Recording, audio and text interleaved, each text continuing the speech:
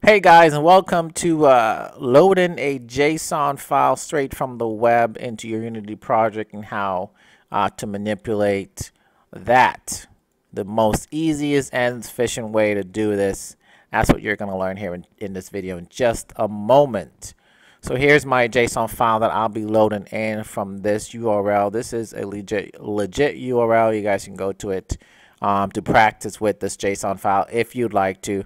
Also in my back, I'm in the back here, I'm just loading up a brand new Unity project. So that's all that's going on there. So be ready because my Unity is kind of slow. Um, and I'm going to show you how you can retrieve one data here or this data or the list of ball data that is here. This um, or similar JSON file like this is what I use for one of the games I have out there that has a store, um, which is called the Ball Shop, where I sell bowling balls in that store. Some of them is free, and some of them is not free. And then they all have a price, a weight, a size, and a texture image on them. And I can make all that changes right here in the JSON and it will happen on the phones or, or computer of anyone that's playing my app. So that is mainly the main reasons you would want JSON if you're hosting it online anyway so that everyone playing your game will access the same file so you can make changes, dynamic changes to your game. Maybe change your entire theme uh, when it's when it's a certain holiday, you know, you change you you change your look of your game to maybe a Christmas theme or whatever the holiday is. Um, and same, I have loading screens here. I can probably change the images because my game is programmed to loop through this loading screen and pick a random one when the game is loading. So I can probably change these out and make these all um, Christmas trees and Santa Claus around, you know, winter time, right?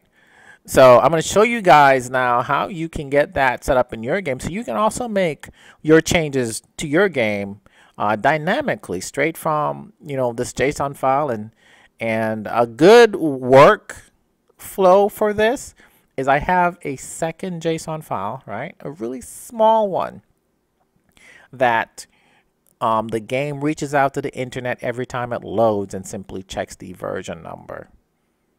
So what I do is I would make changes to this file and then changes to the version number on the really small one that every time the game loads up it reaches out to. And as long as that version number is incorrect, it will download a new set of data from the J uh, JSON file. Because you don't want them downloading the data over and over for no reason. Anyways, your time is important. My time is important enough of my jabbering and jittering and whatever, and let's get into this JSON, um, loading your JSON data straight from the web. So I'm going to create a folder. And I'm going to call it as scripts. I'll create what we're going to need. We're going to need two files. We're going to need a file that will mimic the JSON file that you have on the URL. So it's not going to be a JSON file. It's going to be a file that mimics it like response is going to be responsible for it has to have basically the same data structure. And I'll show you what that means. So I'm going to call this my uh, JSON data class. Cool beans? Um, and now to, to structure this, this is going to be, um, like I said, the same data as, as this. And I'll show you how that works. I'll just bring this off to the side here. All right, so once we've cleaned up the script and we only have the class, uh, what you need, you also need a system a namespace. So we'll go ahead and bring that in by using using, using using. And then you need to also serialize, and that's why we add the system uh, namespace, but you have to serialize this class, okay? Um, before we can get the balls, we are also going to need another class that handles the properties of the ball. So we'll go ahead and we'll make that right now.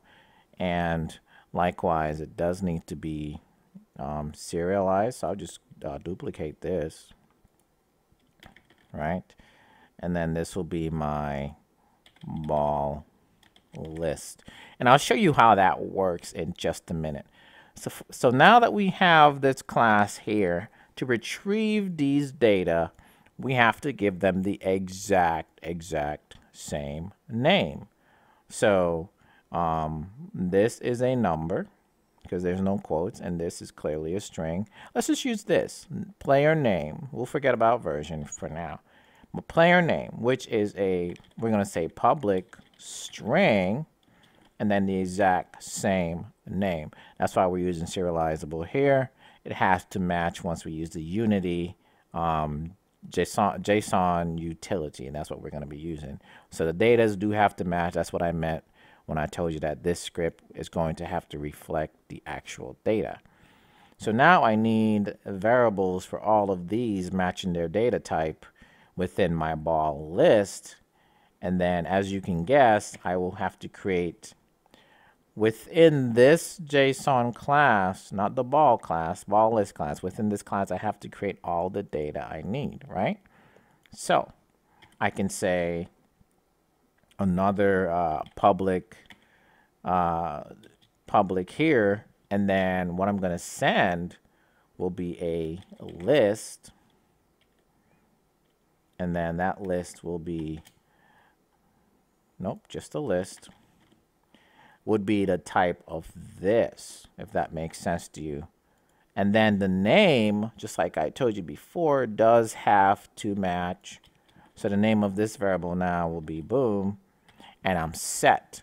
The only issue here is I do need um, system dot collection for my list to work. So it's collection dot, uh, I think it's generic. Great, so now my list work follow me so far. So in here, um, it's an empty list. So in here, I just need these variables and I'll be all set and all good to go. All right, so see what I did? I have created variables for all of these, the free, weight, size, uh, image, price, description, name, matching their data type. Yes, the weight was actually a string, is quotations. The size is a, a number and so is the price. So those are integers. I made that list, just call it ball list. And in here, it's also uh, serializable. It's in its own class. And then here, I just had to create the public string for the player name that I'm going to retrieve, which is ball shop. And then I create a list, which is this data set called ball, which is this, which makes sense because inside of this ball, inside this list, are data sets of these properties. So that is just the structure you have to do for this to work. And we're done with this script, we should be able to accurately now retrieve the player name and the entire list of balls. If I wanted to create, um, retrieve the, uh, the loading images, I would do the same thing. Just create another class down here and then create the list up here, which would only have one property really, and that would be images or image. Cool? All right. So, now I can just do that right now and show you what I mean anyways. Let's do it. Let's do it. All right, so I've created another public class. I just call it loading im and then it only has one uh, item here and its image. Notice that these variables do have to match exactly with these variables. The naming conventions do have to match. These two classes that I gave, the, the list themselves, do not have to match, but then the actual list variable does have to match. So let me go ahead and create one now for the load loading image. So load loading image, images, this, like I said, has to match. So that will be this. And then what data is actually in it is this. So now let's create the script that will actually do stuff with this data. This first script that you created will just sit there within your script folder. Um, you don't have to touch it. Once you set it up, you don't have to touch it. So let's go ahead and actually create our, I guess, JSON um, controller. Why not? And I'll double click to open that up. I'm just going to create the URL variable. It's just going to be a quick test. Um, since we have images within our JSON file, uh, there is actually something else you should do. But just to test it for right now, I'm just going to show you a quick way to do it. So public string, I can do this in the editor if I can spell. Um, and it's going to be just JSON U URL, right? Um, I don't care about the update. I'll make a private um, variable here, a private function, sorry, and this will be what I'm going to use to process my uh, JSON data, right? And it's simply going to take the string, um, let's call it, let's call it underscore URL. That's what it's going to take and then do everything I need to do. Oops.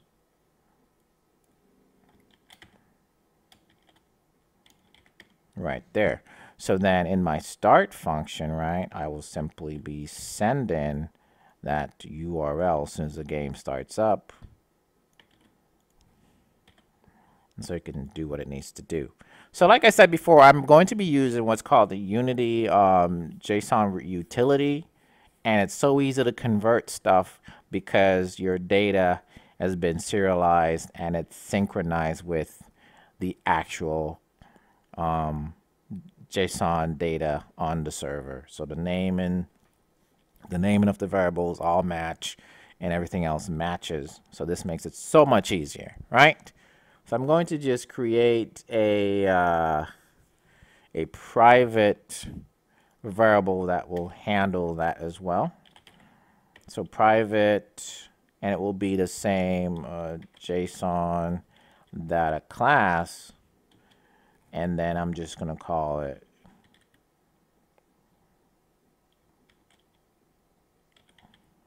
that's all I'm going to call it, right? So it, it is a class variable, right, of this class. Perfect.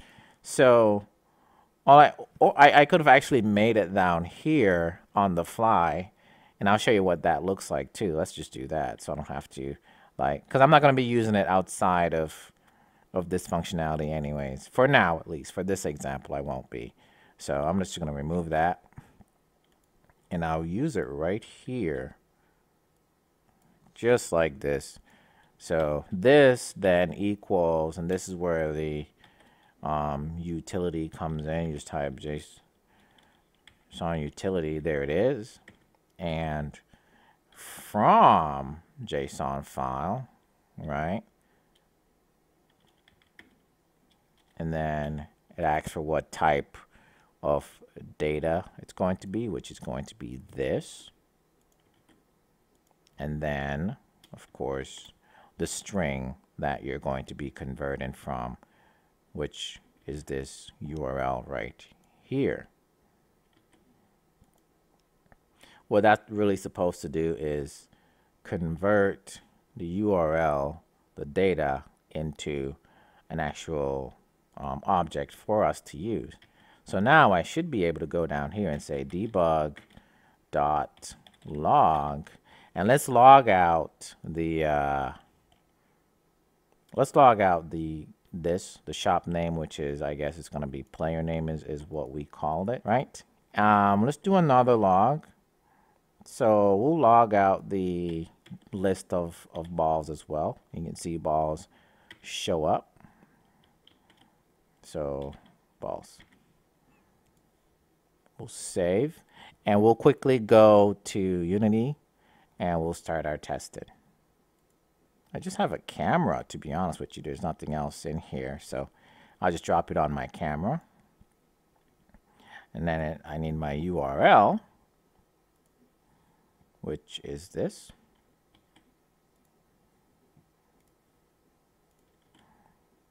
and we'll go ahead and run.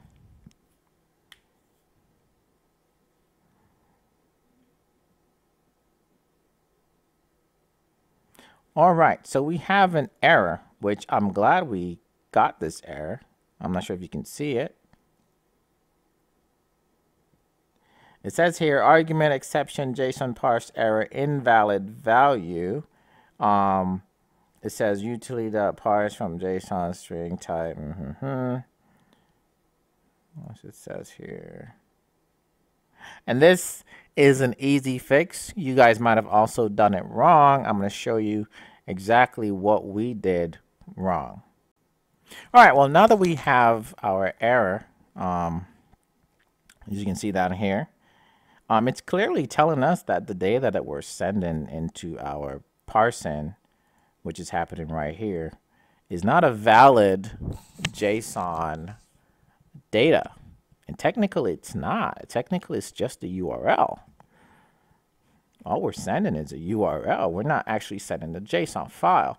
So if the file was local, you know, that probably could have worked, but it's not, which is what this video is about using the web.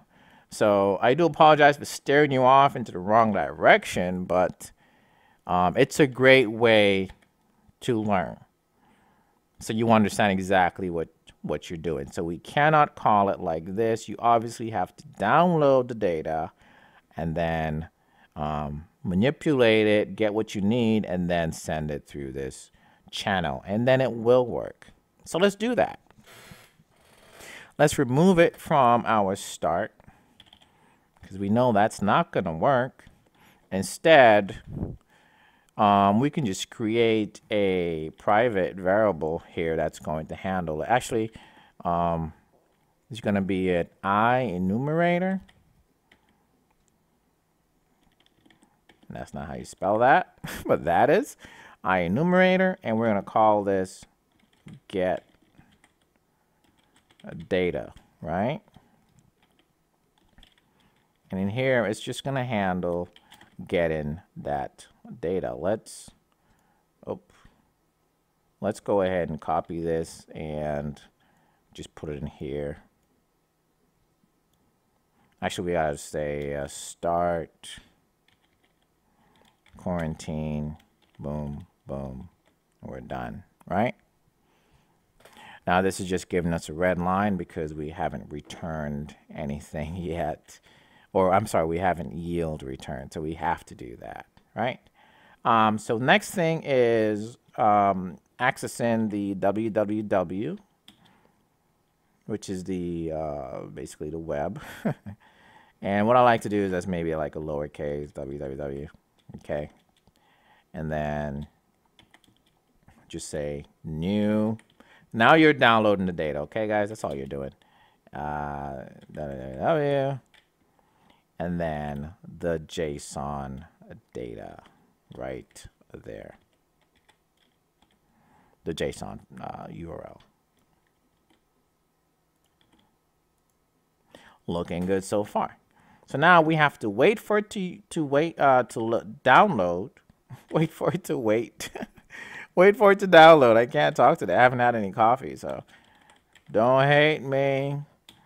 So all we're saying is that let's wait for this underscore www to finish downloading. Now our red line is gone because we've done our yield. So once it's actually done downloading now, we can do if, because we got to check, guys. We got to make sure if our underscore www dot error, so we're checking if it has an error. If that error is equal to null, that means we ain't got no error, bruh. That's what it means. Simple, simple as that. At that point, dudes and dudettes, we go ahead and call this function to process our data, and we're going to send it the results, which will then be underscore www dot text. So what we got from processing that data. Easy peasy. Of course, a great programming practice here is now we need a, if it's not, if, if we do have an error, sort of um, log, something to say, hey, you got an error. Otherwise, we kind of just stand still and be like, hey, it's not working, right? So, oops. Close that up, and we'll say in here, oops, something, or yeah, something went wrong.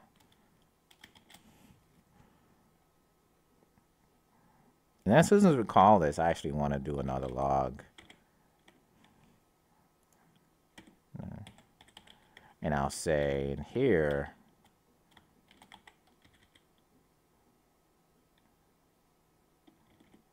processing data. Please wait.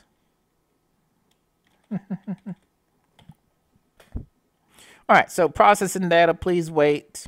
Oops, something went wrong.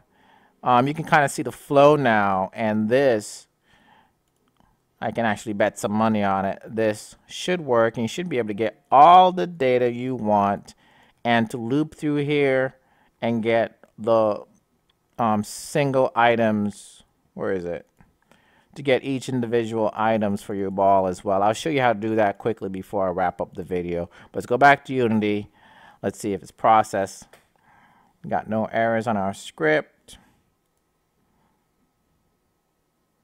Just waiting for Unity here to finish up. All right, no errors on our script, and we'll go ahead and run it. We got our full set of uh, data here. You can see the name is ball shop, and then this list. Uh, we're not getting each individual item, but you can see it's the list of um, ball list, and it came back positive. So I'll show you really quick how you can loop through and get each individual items. Recall that you named this item here ball list because we're going to have to tap into that real quick. So the ball list is a class item of ball list and the name is balls. And then here we're retrieving balls. So to loop through and get these individual items, uh, you just you you just need a for each loop for each, and then you want to say this, okay, ball list, because that's what it is. So you're basically saying for e each of these elements, each of these classes here. So for each that, um, create a, a reference to it. I just call mine X, and then in, and of course this, the actual ball list. So for all of these elements inside of that, you can just go ahead and loop through now and do something with them. Um, the same thing you would do with the images. Uh, you can send that into another I enumerator to kind of like download them separately, whatever it is you need to do. Um, but in this case, I'm just going to log them out. So let's just log out a few items so you see that it does work. Um, so x dot uh, name, right? Um, x dot, what else did we have? Uh, I think free was one of them. Mm -hmm. And then let's just do another one. Uh, what else is on there? Name, free. We'll do description, right? Description. We'll save and go back. Once Unity loads here, we should see both of our uh, sets of balls should pop up, uh, this one and this one. All right, so let's see what we got. Unity loaded, and we got all of our data here. Um, the name, Bomb Frenzy, no, and then check out the app. That was the first one. Bomb Frenzy, was it free? No. And the description was check out the app.